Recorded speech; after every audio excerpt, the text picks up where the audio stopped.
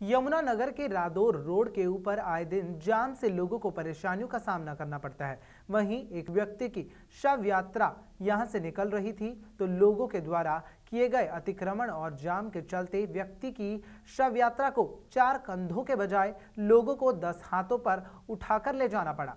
जाम लगने पर रास्ता न होने के चलते लोगों ने भारी परेशानी के बीच ये शव यात्रा को शमशान घाट पहुँचाया। वहीं इस शव यात्रा का वीडियो इंटरनेट पर काफ़ी वायरल हो रहा है। इस पर नगर निगम मेयर मदन चौहान ने कहा कि अब अधिकारियों की बैठक लेकर इस पर कड़ा संज्ञान लिया जाएगा। ये दो रोड का हमने समय निर्धारित किया दस बजे से छः बजे तक। और आपने आज मेरे को वीडियो दिखाई, ये बहुत बुरी बात है। मतलब डेथ अगर किसी की हो जाए, संस्कार के लिए व्यक्ति लेकर के जा रहा है, और इस तरह का अगर ये काम होता है तो मैं समझता हूँ जिन लोगों ने इतनी भारी मात्रा में दो रोड पे एनक्रोचमेंट कर रखी है।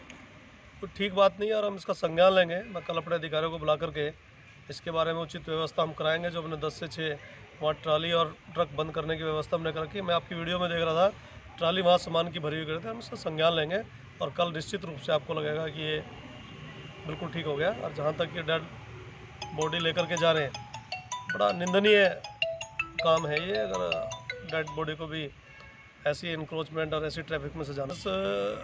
भी हो, उसके अंदर पेशेंट जाता है तो इसका हम संज्ञान लेंगे। और निश्चित रूप से आप देखना, कल दो रोड पे जाकर के आपको ऐसी वहाँ इंक्रोचमेंट और ट्रैफ़िक जाम की स्थिति नहीं मिलेगी।